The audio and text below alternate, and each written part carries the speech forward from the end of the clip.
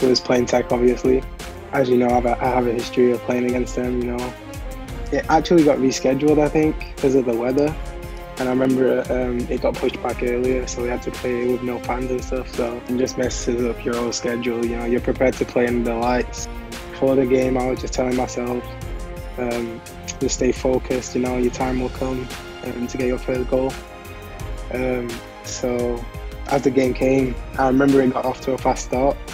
Um, they scored early on, like, and that shocked us. Um, so um, we wanted to get like a response, and then literally like two minutes after, um, we, like we started to attack more, and then um, I found myself in the middle. So I seen Cozy outside on out, out, wide. I thought to myself, get in the box, get in the box. Um, it's a chance to score. Uh, actually, he took a great touch um, and whipped in a good ball as well.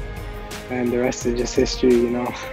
I find it funny um, how I'm the smallest on the on the field and then scoring a header against all these tall defenders. So. And how about that follow-up? It's Crofts on the other end on a beautiful feed from Donasiyano.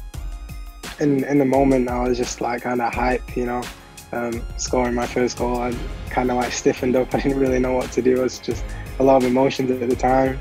Um, and scoring so uh, so quickly after they scored, you know, straight back in the game. So anything could happen. Well, I don't think any of us knew how big the stage actually was. We just like going out there in the field and just having fun.